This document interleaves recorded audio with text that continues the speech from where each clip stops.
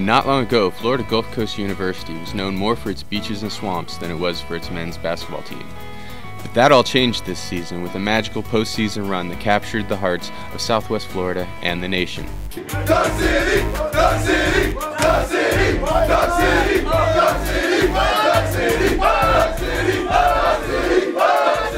But what seemed like an overnight success actually took years to build. Yeah, it's, it's incredible where this program has come. Uh, it's, you know, around since 91. Um, I've been in the area, um, you know, a lot longer than that. So I've kind of gotten to see the school be built. Uh, it's still a baby. And just really, you know, as a basketball program grow. So through that whole time, that was a hard sell. They struggled dramatically. Uh, the talent level was frankly uh, more along the, the D2 scale. Um, they averaged uh, a little over nine wins a year, and um, that's when uh, Ken Kavanagh decided to make a move. Uh, when we first got here two years ago, they thought we were a junior college. We, we made recruiting calls to, to players or, or parents or, or, coach, high school coaches. They thought we were Gulf Coast Community College, which is in the Panhandle, and we'd have to explain to them, no, it's, we're a Division One university, and, and we play basketball in the Atlantic Sun Conference. And Andy immediately brought in some really, really nice talent in Bernard Thompson, fine shooting guard out of Georgia. Uh, Brett Comer, a fantastic uh, in-state point guard. Guys like that, and, and, they were able to put together a pretty good season that first year.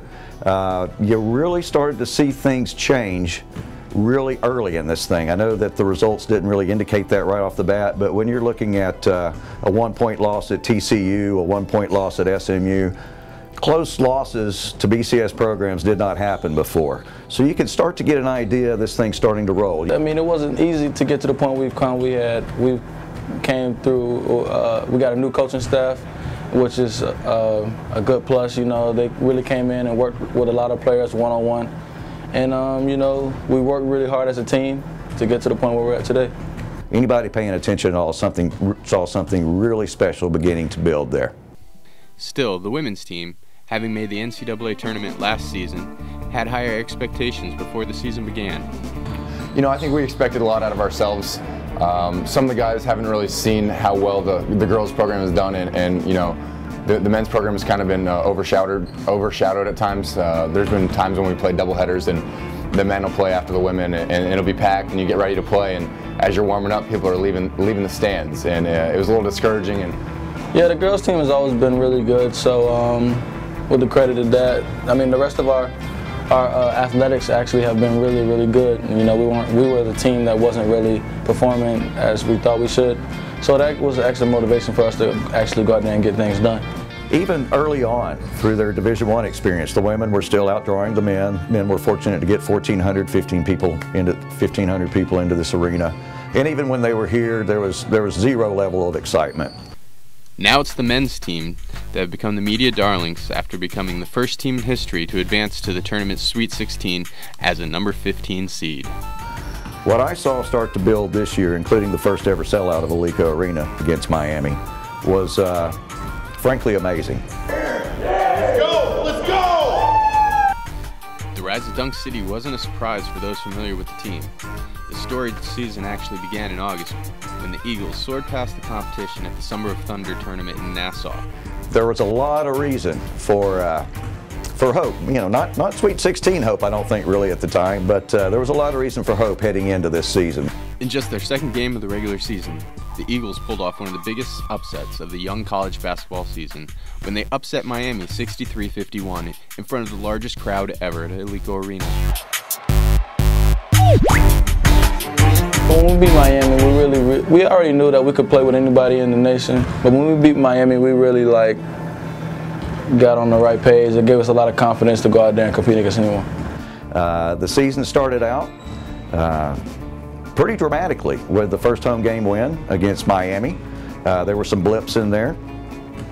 Obviously, they got slaughtered at uh, VCU, but VCU is a different animal. They're going to press you in, incessantly uh, in their havoc form and such. You know, when we beat Miami, you know, people were kind of, you know, how, how, did this Florida Gulf Coast team beat Miami? But uh, I think Shane Larkin actually tweeted back after we beat Georgetown. They're like, oh, now you guys know who FGCU is. So. Two games later, the Eagles showed that they weren't afraid of anybody when they traveled to meet the Cameron Crazies in number 9 Duke as part of the Battle of Atlantis. Although FGCU fell to the Blue Devils 88-67, the Eagles proved that they could hang with anybody in the country. Uh, they went to Duke and looked amazing. That's, that's the first time I really saw what looked like Dunk City. First time I've ever seen that was in the first half at Duke. Uh, they held a lead for the first 10 or 11 minutes there. Uh, the crowd there in Cameron was absolutely silent. Uh, it was it was pretty bizarre for a while. Then all of a sudden Duke starts feeding uh, seven-foot Mason Plumlee. They go on an amazing run, take a big lead. Uh, but from that point, FGCU hung in there, and you started to see the Dunk City stuff going. They're running past Duke. After the game, Coach K couldn't compliment them enough. Those games against much bigger and more established programs helped the Eagles when it came time to start conference play in the Atlantic Sun in January. The Eagles went 6 and 3 that month, with two of those losses against Mercer and Lipscomb coming down to overtime. The loss to Lipscomb was the team's only home loss of the season. Uh, we've always been a, a, great team. You know, this whole season we were playing great, and uh, you know it's good that we got to play on, on, a large stage, and people came to love us. They saw how hard we played, uh, how hard we played on defense, as well as you know the high flying dunks, and uh, really get people excited. So uh, people really loved watching us. I feel like, and it, it was just awesome to deliver something like that to this community. Under second year head coach Andy Enfield, the Eagles quickly garnered a reputation for running its opponents into the ground with a relentless attack and a deep roster filled with long and athletic shooters. The Eagles' defense forced turnovers from even the most stingy of offenses. And once they got the ball, they ran and ran and ran. Andy, I thought, laid down a real good foundation of. Uh, he was a serious coach. There's no question he's a serious coach, but he's also laid back. They, they find it very important to uh, to get along with the kids. There's, there's actually laughter in practice for the first time I'd seen in, at that point, five and a half years of covering FGCU. So uh, the biggest thing that uh, Coach Enfield brought into this program was just a confidence, uh, a sense of uh, winning, and things like that. You know, uh, we had a good core here. Uh, he brought in some excellent pieces, Brett Comer, you know, Bernard Thompson. But really, just you know, the day he stepped in that locker room, you could you could kind of tell that you know he, he was a winner and, and he wanted to win. He expected to win.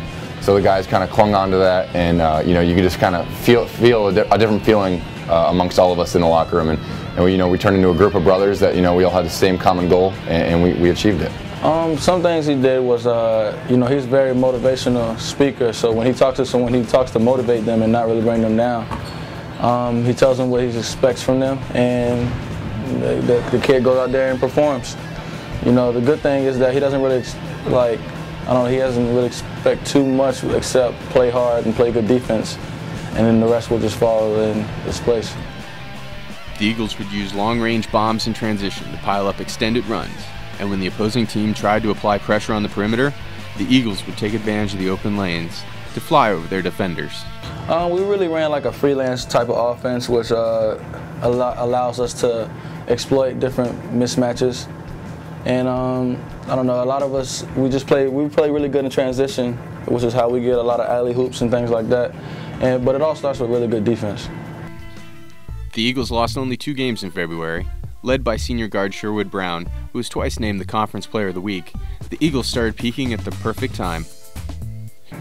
Well, in my head personally, I was like, well, we really got a shot to do some damage in the NCAA tournament. We just got to make it there. Uh, you know, just to be able to now have a, a, men's program that, you know, people are loving to come out and to see and, and everyone's getting excited about, it, it's amazing the turnaround that we've made. When FGCU opened the ASUN tournament with a 73-63 win over North Florida, the Eagles were red hot.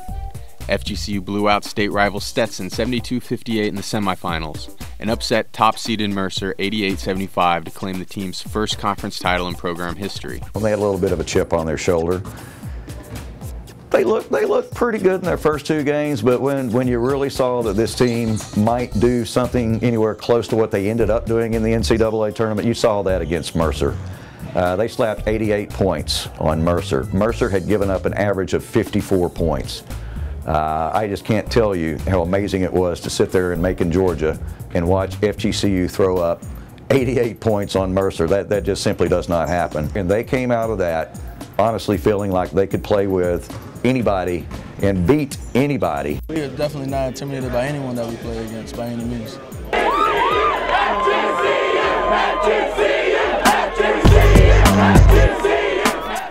accounts, the season was already a success for a program that was only in its second year of postseason eligibility. What came next would become the Cinderella story of the year. Um, you know, just the fact that we just brought the whole community together for a, a good cause You know, a lot of people have been telling me that we haven't brought this much excitement. Well, this much excitement hasn't been brought to this, to this, uh, to this side of Florida in a long time. And you know, it feels good to really know that we actually helped do something, help improve something. Upon their return to campus, they were greeted as hometown heroes. More importantly, the win gave the Eagles an automatic bid into the NCAA tournament.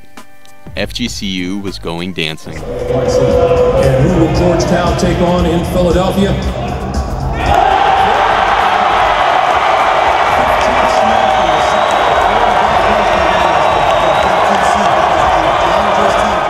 The team had first round upset on its mind as soon as they learned of their opponent Georgetown. The Eagles, in their up-tempo attack, matched up well against the Hoyas. They like to slow down. Um, we play a very fast style of play, so I think that'll be good for us if we can get them in our style play. I mean, I think we're one of the best teams in the country at it. For sure, after we beat Georgetown, how, how much our lives changed after that. You know, the fan base, uh, just life in general. At first, I mean, I was really excited for myself and my team. You know, um, it was a, a really good, big accomplishment that we had just did. But, you know, at the same time, we were ready to continue to play and play the next team the next game. The Eagles were an overnight phenomenon. The high-flying antics of Chase Fieler and Brett Comer, Eddie Murphy and Eric McKnight became the talk of the nation. Highlight reels were in heavy rotation everywhere from ESPN to YouTube. The school that was often mistaken for a community college was now trending on Twitter. On the foundation of a million trash brackets, Dunk City was built.